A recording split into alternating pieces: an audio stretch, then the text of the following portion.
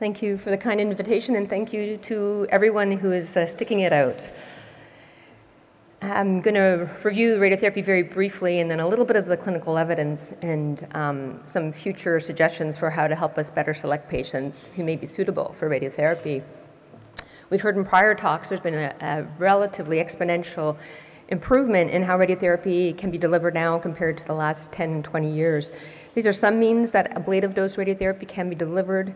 Um, most types of external beam and intraluminary, intrabiliary brachytherapy have been used to treat different uh, cholangiocarcinoma patients. Oops. So this is just a, a description of some of the advances in radiotherapy. We can give radiation hypofractionated regimen, SBRT. We control for breathing motion now with multiple different um, uh, vendors and solutions. Adaptive radiotherapy is becoming more prime time, and image guidance is improving with MR, for example. And we're also using machine learning and artificial intelligence to hopefully help automate and improve the quality of our treatment. So as we know, have heard from the prior talks, cholangiocarcinoma is a heterogeneous, uh, heterogeneous cancer, um, not only in terms of location, but also uh, mutational status. And similarly, it's quite heterogeneous in terms of where radiotherapy may have the biggest impact. For peripheral intrahepatic lesions, hypofractionation such as SBRT may be uh, suitable. But for extrahepatic lesions, there's rationale to give longer fractionations to help spare toxicity to adjacent uh, bowel and to help uh, prevent uh, biliary edema or biliary-related toxicities.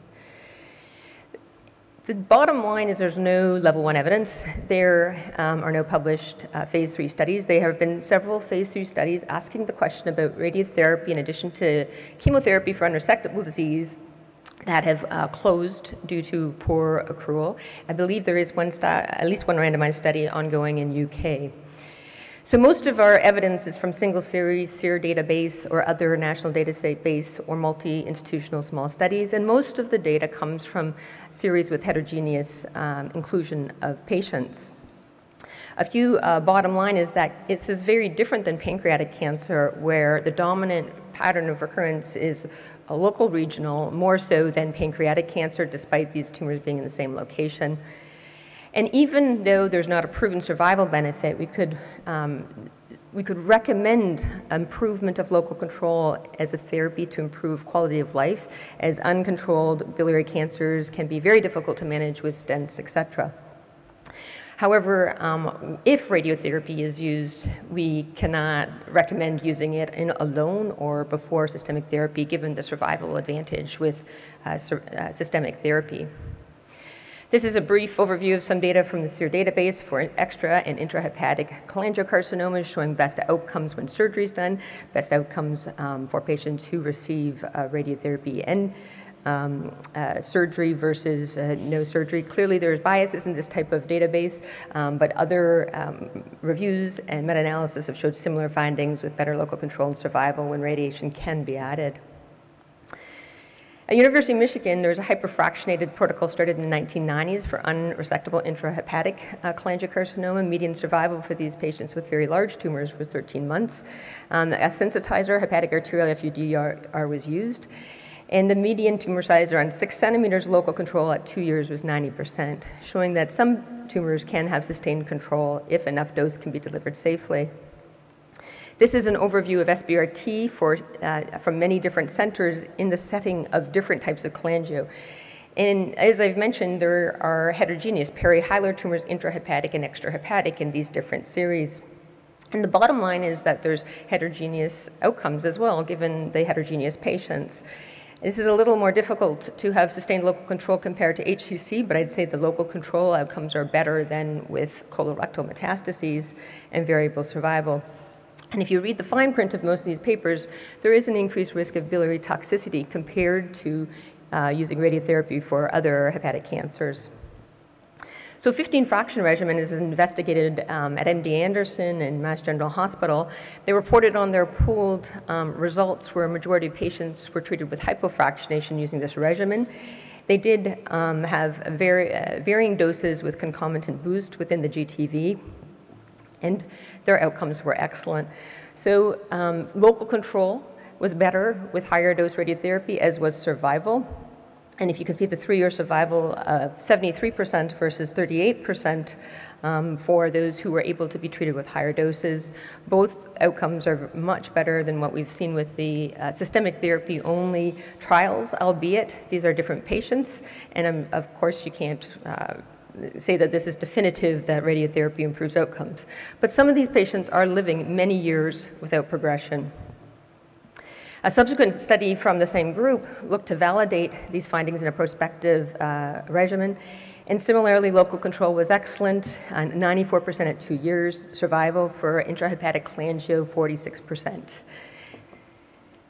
So moving to perihilar carcinoma. So the best outcomes, I would argue, are from uh, multimodality treatment, including transplant. And this was started by the Mayo Clinic, and you can see the uh, standard chemotherapy, radiotherapy that was used in these uh, patients.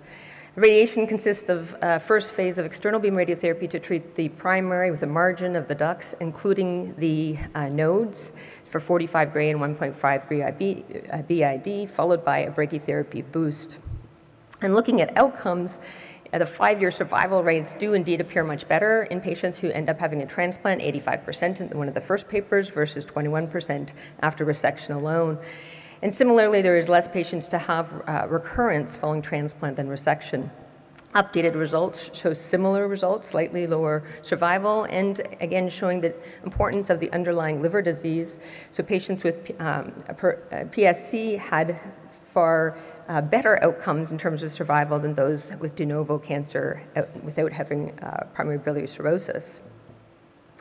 There are some uh, increasing uh, use of radiotherapy in the setting outside of the Mayo Clinic, and this is one pooled analysis. Again, um, showing at, at better outcomes than what one would expect with resection alone, and similar to the Mayo experience, uh, pathological complete responses. So about 54% of the livers had no cancer.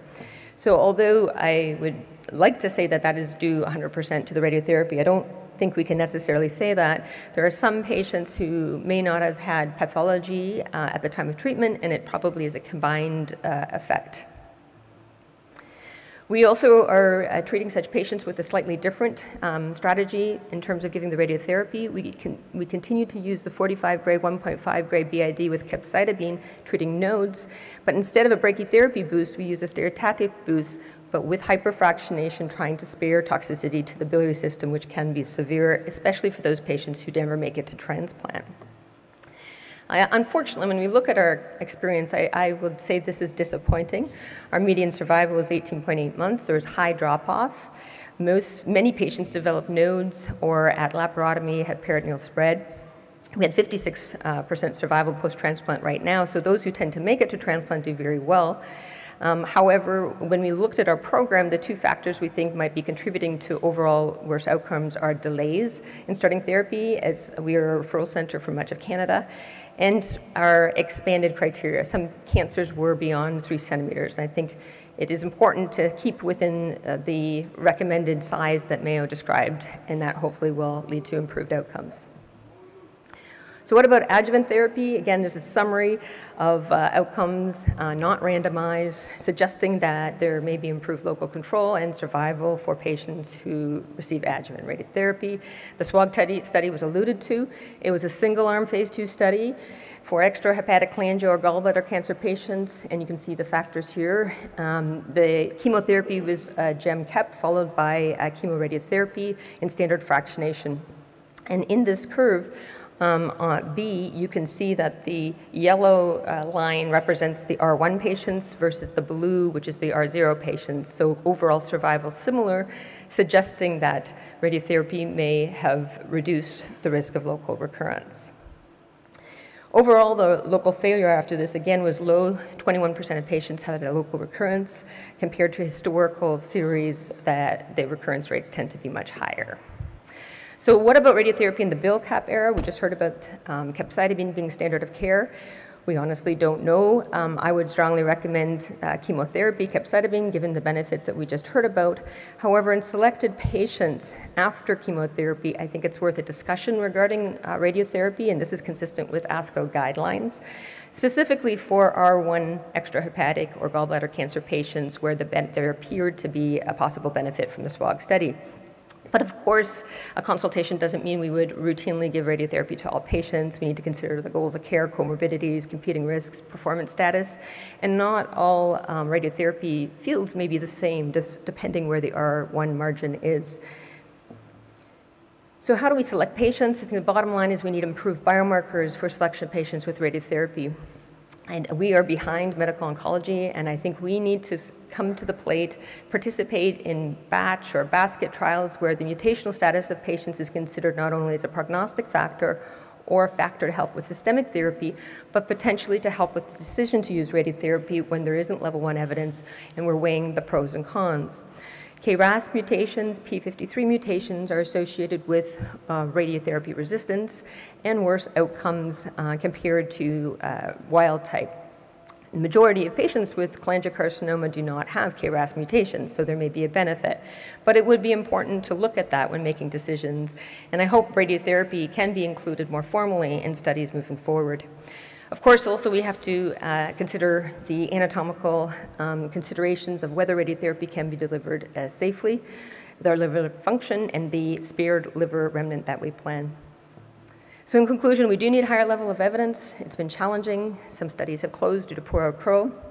But I think a goal of uh, having uh, improved local regional control in this part of the body is an important endpoint. Most of the cholangiomas are KRAS wild type, so hopefully we'll be radiation responsive. We've shown that there are some long-term survivors in unresectable intrahepatic cholangiocarcinoma patients who ultimately receive radiation. For post-surgery, I would recommend radiotherapy consultation for those with R1 resection. And if we give radiation, it should be done after standard of care systemic therapy. Thank you very much.